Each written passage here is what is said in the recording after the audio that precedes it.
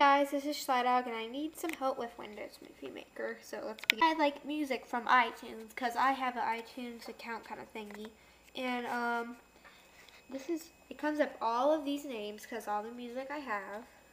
Click one like uh, Tim McGraw, and that's the album, and it comes up like this. I'm wondering why it's blank. Um, and I want to know why it comes blank, so can you can any of you guys just try to help me? And yeah, thanks. Bye. When I try to like import it, it just comes like up like that again. So why is it doing that also? So yeah, thanks for watching. Please help me.